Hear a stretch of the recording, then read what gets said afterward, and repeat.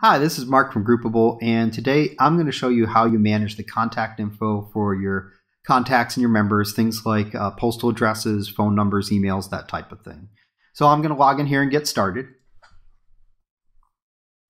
And remember, I landed my dashboard. I've got my list of members here, so I'm just going to pull up one here. And you will note that everybody by default has a mailing address, a postal mailing address, physical mailing address. So everybody's going to have one of those. You can't actually uh, turn this off or deactivate it.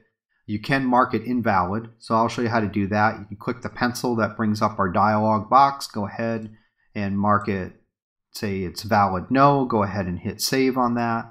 That will say that this is no longer a valid mailing address. You can click the pencil, go back, change that to yes, make it valid again. That makes it a valid address again. So that's what you can do with the physical addresses. You could also just come in here and you could change the whole thing. Uh, let's see.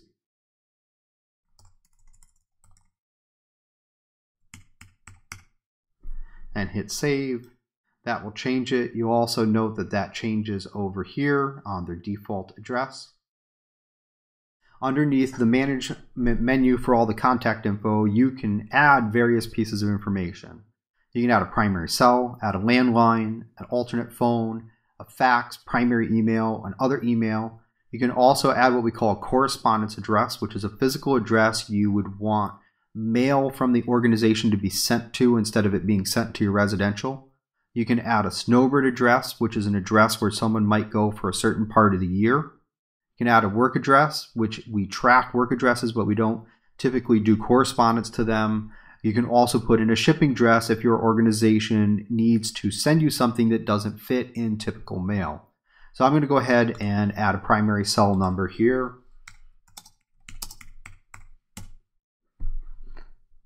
Hit save on that and you'll note that it's here. Also shows up as my default cell.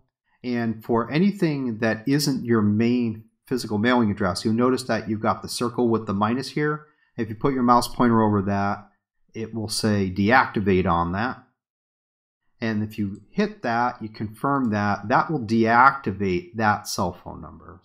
I'm going to go ahead and put that back in here.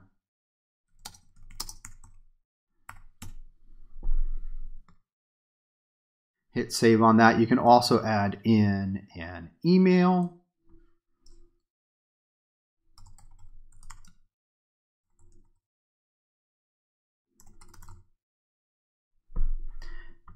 I'll show you the Snowbird address. So if I put in a Snowbird address and I say like 1 Main Street,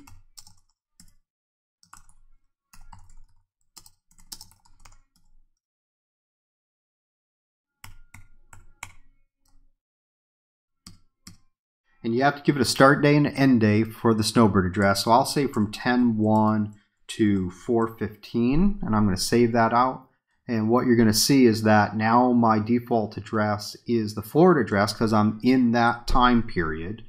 Now that I've added the Snowbird address, you'll notice that I can add a Snowbird phone, which is a landline that the person might have at that other location. Go ahead and save that. Now you see that my default landline is also the uh, for the the Snowbird address. If I take out the Snowbird address, you'll see that those are going to revert back to my default stuff. I can put in that landline for my local.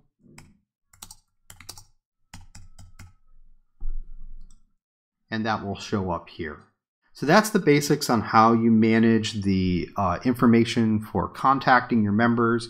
All of them, once you put them in, they can be marked valid or invalid if you want to keep track of them. We also have the full history available here so you can show the history of all the contacts that the members had.